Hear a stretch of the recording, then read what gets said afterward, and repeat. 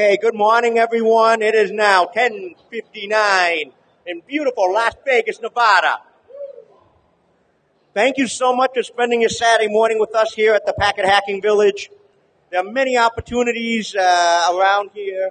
We got capture the packet going on right now. We have the wall of sheep. We have the packet detective in the back corner. We have emerging technology booth in the in the back, and right next to it is our DJ booth. And it is now the top of the hour, 11 a.m. here, and we have the second speaker workshop. And this speaker workshop, I know a lot of people are looking forward to. Oh boy. At any rate, please feel free to make yourself a home. Are there any empty seats? Are there any? I can't see through the light. Okay. Please make yourself a home.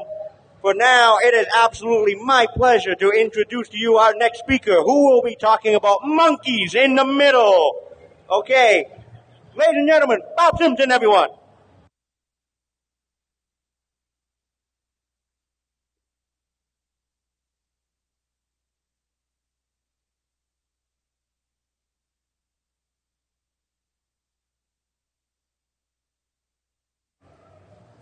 All right, maybe we're good to go.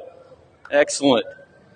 So yeah, I'm glad being said monkeys in the middle because man in the middle is a sexist term. It was created a long time ago. We should never ever use it again until my next slide. So I apologize for that in advance. Um, I'll make the next presentation better. So it starts with who am I? And basically, I'm just a security researcher on the side. Uh, my day job, I'm a CIO. Uh, for an accounting firm. And we actually uh, use uh, man in the middle techniques to, uh, to create a captive portal for a small segment of our audience and, and, and market a product to them. So man in the middle can actually be used for profit other than the type of profit we generally talk about on this stage, right? So what is man in the middle, or monkey in the middle, sorry. Uh, there's a number of different uh, um, acronyms that are used to, to describe it. But more or less, what you need to know is it's not just sniffing, right? You got to sniff some packets, but that's not what it's all about. Um, if I were talking to, um, you know, I'm going to jump down to the illustration here. Alice and Bob are speaking, right? I'm, I'm speaking with Alice here. I'm Bob, obviously. I'm speaking with Alice here. Nice beard, by the way. I love it. So anything I say to Alice, you potentially could hear as long as you've got good ears, right? So I'm saying, hey, Alice, let's go out tonight, right? Fine. Now you know I'm going out tonight. Let's go to that place we went last night, right? Cool. All right, we're on.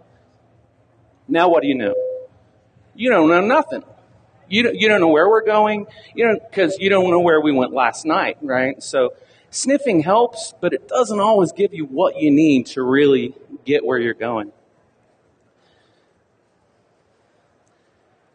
There's a slide here somewhere that shows the wall of sheep. Uh, we'll get to it, and and you know ultimately that's your goal, right? Ownage. You, you know another another name on the wall of sheep. That's what we're trying for whenever we talk man in the middle. Sometimes you can sniff it, sometimes you can't. So you got to be smart about it. So we're actually going to do a demo right now. Um, this is a non-technical demo. This is one you might do in the SE class, except we're going to be talking pseudo packets. So back to the same conversation. I'm, I'm Bob, you're Alice. I say to Alice, hey, uh, you want to go to that place we went last night? You said it was fun, right? Now, here's the part you've probably already all thought of. Y'all are going to be Mallory, right? Mallory's the person in the middle, the monkey in the middle, the man in the middle. In this case, you're all going to participate and answer for Alice, right? You got one or two responses. One is that's what he said. The other one is that's what she said. I'll let you pick. I mean, it's up to you, right? So let's try this out. We're going to try it again with, want to go to that fun place again tonight? And you say, uh, it's, it's unclear, right? So, okay, we'll, we'll try the next one. Because they answered for you, I didn't hear what you said. So I'm like, uh, I got to clarify here, right? I really do want to go somewhere. Um, so I say, hey, remember you said it was so much fun, you wanted to go every night, even though it was kind of dark and hard to get into? Ah, yeah, now you're getting where I'm going. and you all have dirty minds. So the next step is obviously I still didn't hear you, and this is something Tony actually mentioned to me before I entered the stage. You know, sometimes the first the first authentication is fine, second one's fine, third one might be fine, but at some point you can break these things down, right? If you jack with it. Next one is, come on, it's the place he said would be really awesome if they had better service and and lots of hot dogs. Right? It's pretty obvious.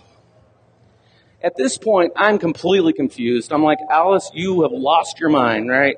Uh, I don't know what's going on. Let's go to uh, uh, that new place called Pinky's Hot Dogs down on Las Vegas Boulevard. Right? Real place, by the way. I've heard it's really awesome. At this point, you can disengage right? Mallory can disengage. You've got what you need in this conversation. And we'll do a technical demonstration in a minute. But the point is, you didn't let me get away with just doing a simple handshake. You didn't let me even go away with, get away with reminding him of our previous session. You made me state explicitly what was going on here, right? So that you could listen in on that and then take that to the next step. So what do we get out of man in the middle? Obviously, you can get reconnaissance, like we just did.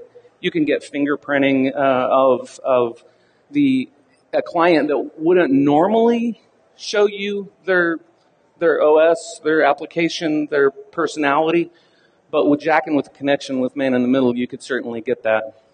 NTLM capture, relay, escalation, redirection.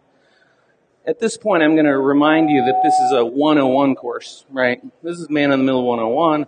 I absolutely do not mean here to uh, say that I'm going to cover all of this. And in fact, I'm not. What we want is ownage, right? And I will demonstrate a little bit of that.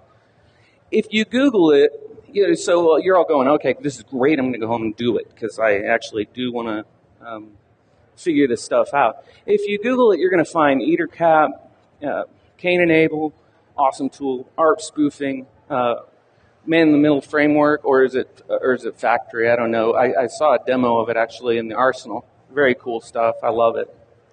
Websploit, Burp Suite. By the way, M- MITMF is uh, built in Python. So a lot of these are built in Python.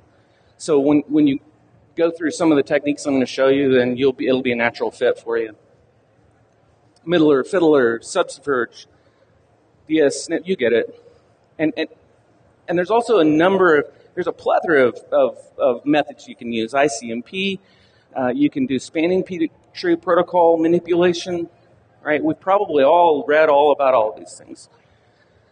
but, but, but actually doing it, if you're looking at, okay, tomorrow I want to actually start learning these things, doing these things, demonstrating to myself that I can get to the next level, then you need to go do um, a, a, ARP or DNS or spanning tree, uh, and, and all of those require semi-advanced tools. So if those aren't your specialties, you might be stuck right out of the gate. This is why easy is good, and, and why I'm going to demonstrate a simple technique. It might not be practical in the real world, but probably is. Uh, this is actually from the DEF CON r00tz Asylum area. It's, it's up on this, I want to say the second floor of the South Tower. I don't know, get your map. And, and it's a really cool area set up just for kids. Last year it was called uh, um, DEF CON Kids, or two years ago. Anyway, it's just for kids, all kinds of demonstration. One of the posters they had up when I visited that area was any sufficiently advanced technology is indistinguishable from magic. We all love that, right? This is a classic quote and one we use to our uh, benefit every day. And that's why I'm going to give you a really easy way to do man in the middle, understand it, start manipulating it, playing with it, and uh, you can go from there. Because then you can build on all the other techniques you want. Use your particular flavor to add to it. So all we need is Scapy, NFQ, and we're going to bridge. So you got to kind of understand what's going on there. Although I'm going to show you a script. Ubuntu 1404 is awesome because it comes right out of the box with about everything you need. In fact, what you're going to do if you wanted to do the demo I'm going to show you here in a minute and, and by the way, I'm praying to the demo gods. We'll see what happens. Everyone says that, but it's so true when you're standing here. apt-get install bridge utils, Scapy. I think uh, actually there wouldn't be any commas there, but you get where I'm going. Scapy and Python NFQ. Those are the three packages you need. There's no config. You just go.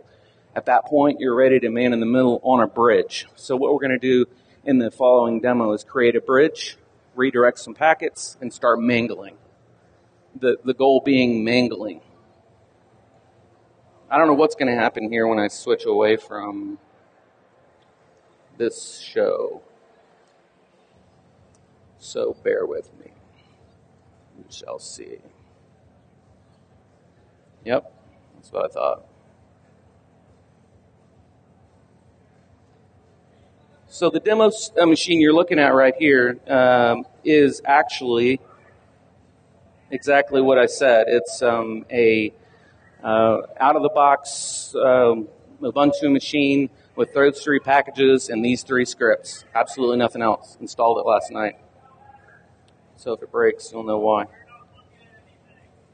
Oh, sorry. My bad. You're not looking at anything, are you? That's what I was afraid of. Oh, nice. Now you can see that part see if I can get back to my other one. It's on the opposite side that I expected here. Ah, there's my bridge. I'm using virtuals, so I basically just created the virtual uh, uh, interfaces on both sides of the bridge and stuck it up there. Uh, and then this is my Windows machine where I'm going to. So there's my bridge commands. I don't know if you all can see that or not. It's basically you bring your Ethernet interfaces up, you you create a bridge called man in the middle in this case, um, add Ethernet 1 and Ethernet to it, and you bring it up. Easy peasy.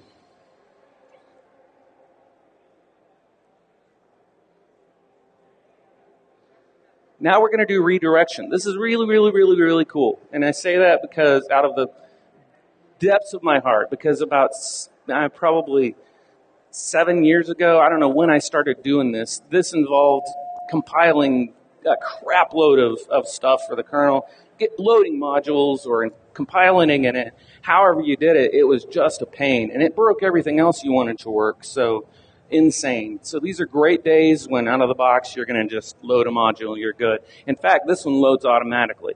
So what we're going to do is uh, do IP tables. If you haven't learned IP tables, learn it. It's cool stuff. Um, you'll use it every day of your life. IP tables, um, the key part being that very last section there, which is NFQ. So instead of blocking a packet, instead of allowing a packet, instead of doing anything else with it, we're actually going to queue it. Default queue is zero. And you'll see why that matters here in a second. Let's go ahead and run both of those because then we'll just kick this off and you'll see what's going on. So we're going to bridge it. It's going to fail because part of it's already done. O2 redirect. So now packets are redirected. If we go over to our Sorry, I'm not sure which side my mouse is on. There we go. If we go over here, we're going to find that, um, in theory, things should start right up. Web page is not available. That is awesome. Bear with me.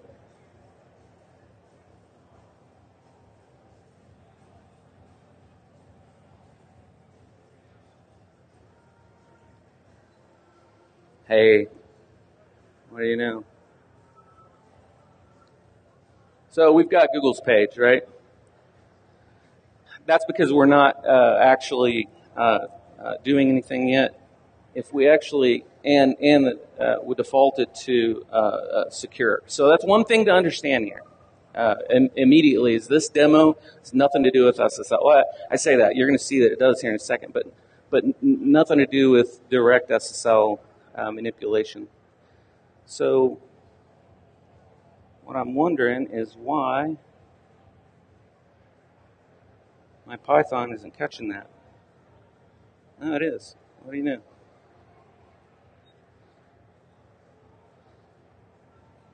Here, let's try someplace else. Actually, let's just kill the browser. There we go.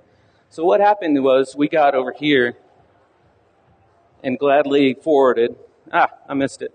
So what we got was a redirect. So HTTP www.google.com. Google's like, whoa, no way. I want to go secure. Redirect. It's a 302 found or moved kind of message. We'll, we'll try it one more time. I think you'll see it. Let just break out of this. There you go. Stop my code. So we've got um, HTTP 1, 302 not found, and, and it gives the location that we ought to be going, right? So the browser, a compliant browser, is going to go, gladly, I'm on it. I've got secure, I've got SSL, I'm redirecting. We are good to go. That was just standard, no mangling. Now live here, we're going to see what we can do about editing this script. And this is how easy it is. Actually, I'm going to run through the script real quick. So I'm going to run through it real quick, and then if you have any questions later, you want to run back through it or whatever. But I think you'll find that this is exactly the, the in fact, this is all the code on this page. Uh, it may be missing one line, but it's really close to all the code. And uh, this is a standard script you're going to find anywhere if you Google the stuff I give you at the end. In fact, you can Google Python and NFQ, Scapy, and you're there. You will get this script because there's only one way to write it. so basically, uh, right there at the beginning, we're saying we're going to um, ma- manage some packets. Give me a give me a call back. I'm going to manage some packets, and then right down uh, towards the end, basically, we uh, set up a, a queue. And I don't know if it specifies Q zero or not, but essentially, there's a way here. Oh, there it is, Q zero, right, which is the default you can actually have, I don't know, I think thousands um, managing different types of packets. And then um, essentially going to take that payload, dump it back into the packet, and tell the queue that we're basically uh, modifying the packet. Now, in this case, uh, or what you saw already, we didn't modify it at all. We just said, hey, take this payload, put it in this, let it go. All right, we're good. But you see, I've got prepped here some little edits that we can do. And this is the only real uh, way we're going to jack with HTTPS. Um, if they go secure, I can't see it right now. There are there are there are methods for that. There are modules you can do. One-on-one course, guys, gals, people, humans. Is it better to be a human or a goon? That's what I want to know. Let's run this.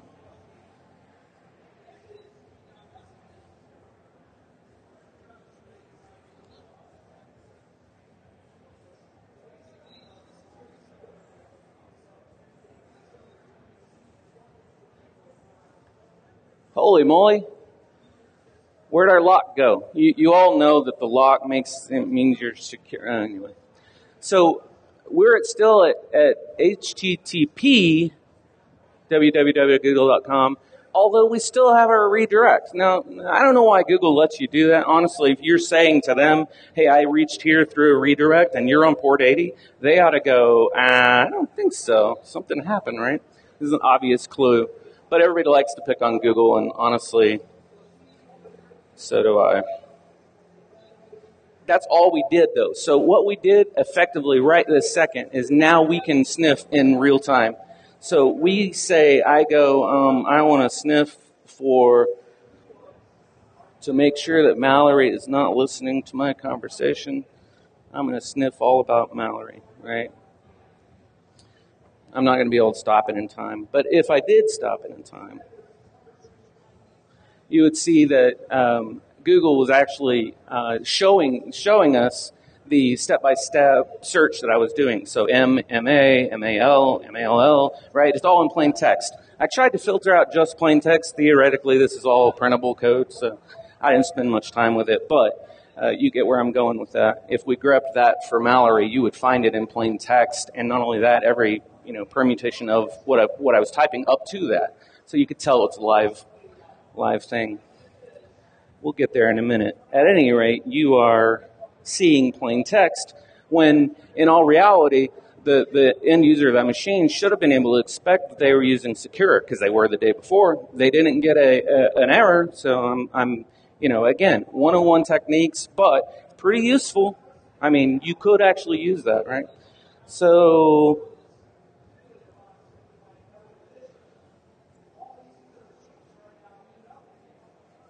beyond that, what we're going to do is see if we can't basically change good to evil. That's, that's always a goal, right? That's never bad. That was my goal with getting you guys in on that joke, but it, it didn't work out very well. You very well protected on the good side. Let's see here what happens. I'm dumping stuff. I'm going to try again because it's like, oh, I don't know if that last one was good or not. Yep, no, we're still good. Okay, good. So uh, at this point, okay, uh, end user has no idea. He's going to go. Oh, I'm just going to search for something good. I love good stuff. Oop, Goog actually. Wait, no, that's it. That's the term. I'm going to search for good stuff, right? Wow, it broke it. That's nice.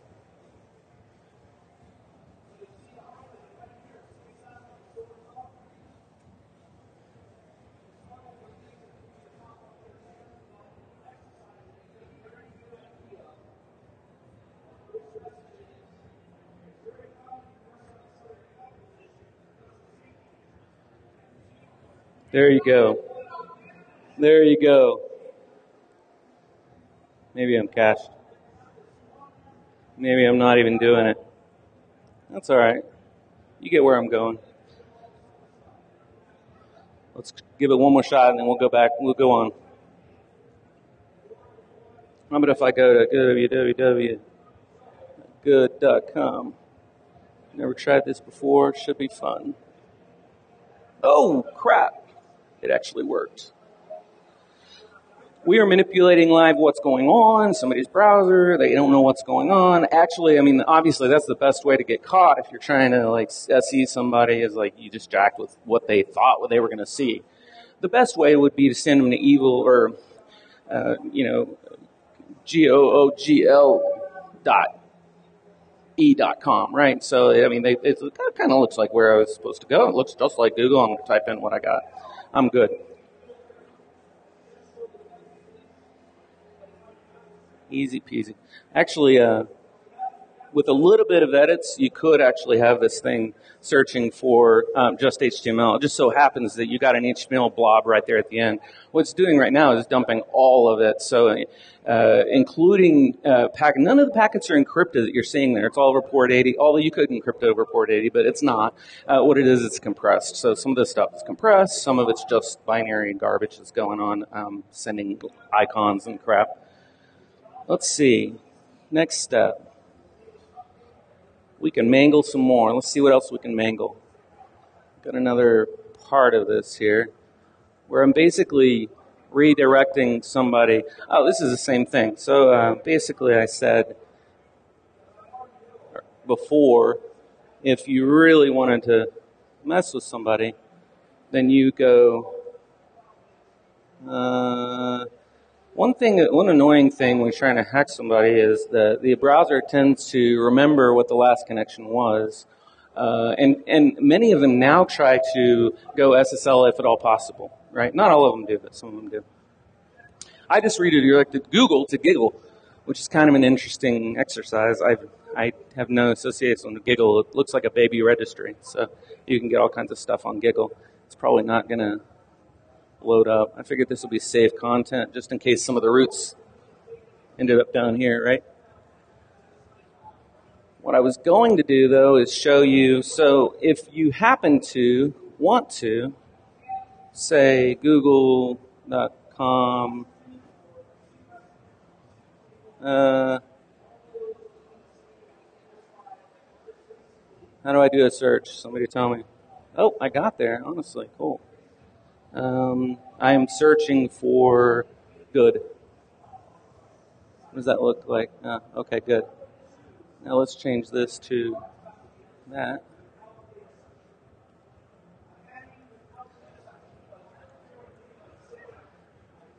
Nah, it's not even worth looking at. The funny thing was, though, last night when I was uh, messing around with this, I just happened to notice that whenever I went to Giggle.com on accident because, wow, I don't know what happened. I just got in, I was going to Google and ended up to Giggle. um, then it actually hit the search page and uh, was searching for something good.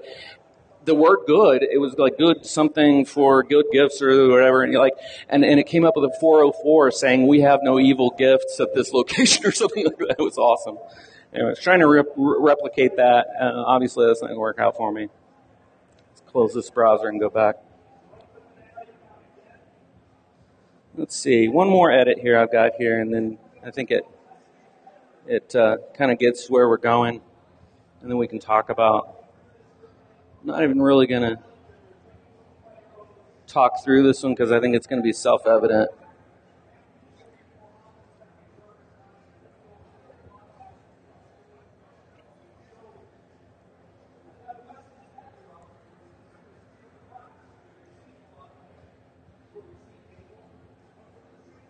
My bad. We're back there again.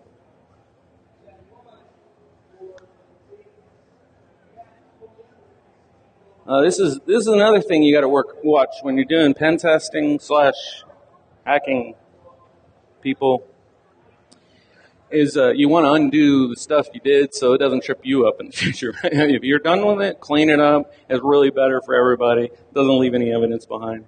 Um, uh, but that being said, uh, even if you're doing this on your own company, I mean, a serious note, if you, if you're doing this even on your own company, get a get out of jail free card. You need to not jack with people without complete permission for everybody involved.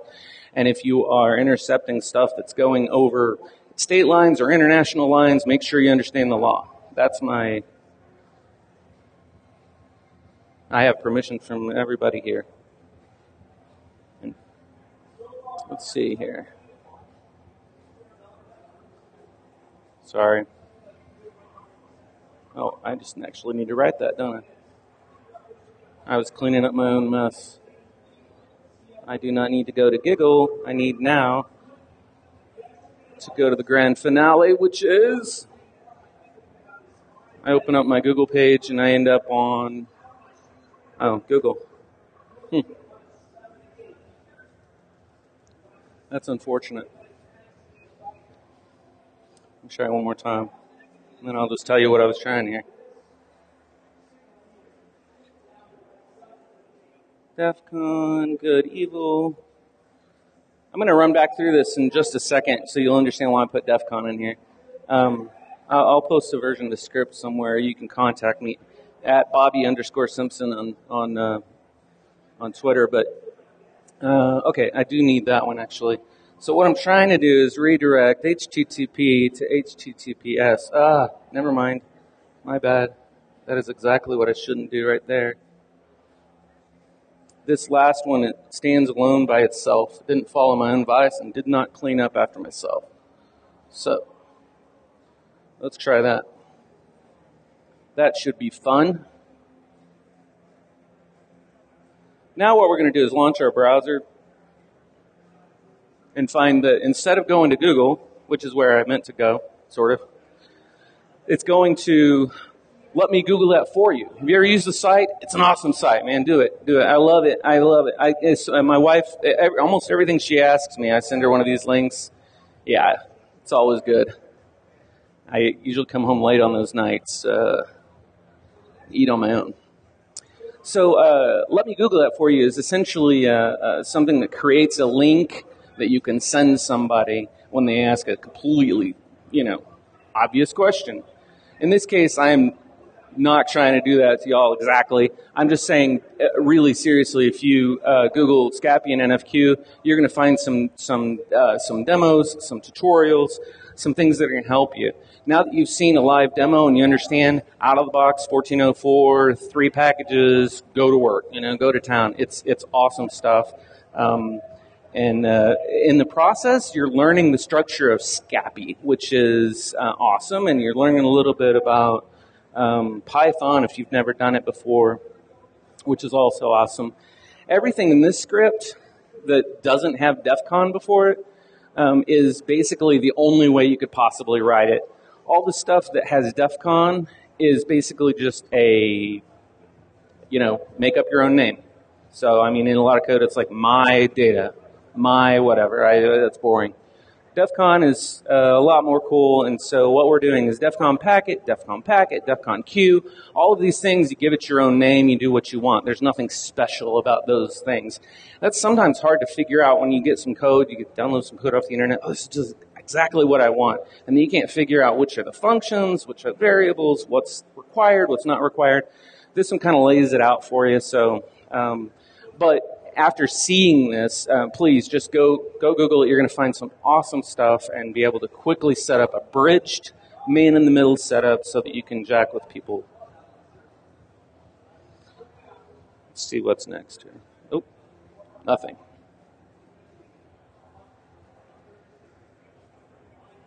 Now the trick's going to be getting back to ah, you know.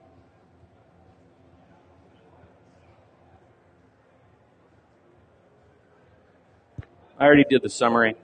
1404 apt-get, bridge util, Scapy create a bridge, redirect packets, and that is cool. And man in the middle told you to do that, so always trust man in the middle. He's smart. Any questions? Anything I can help with? Anything you want to know about this setup or concepts in general?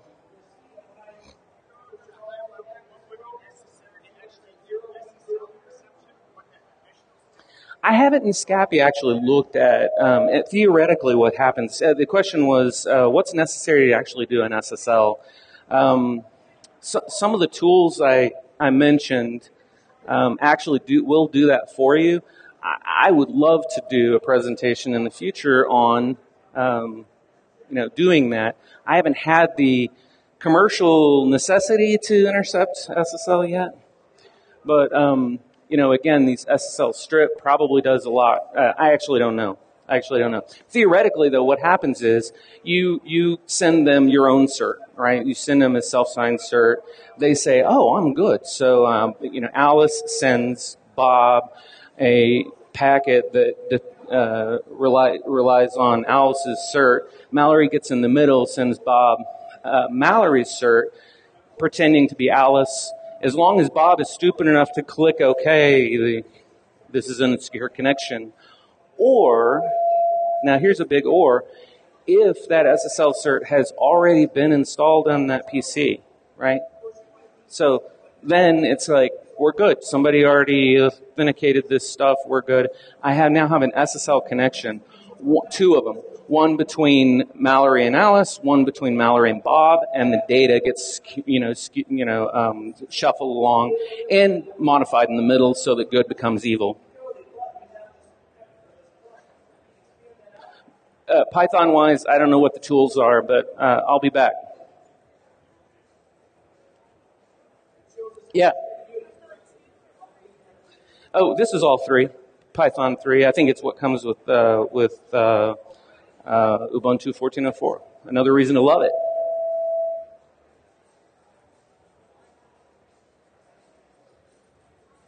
Very cool.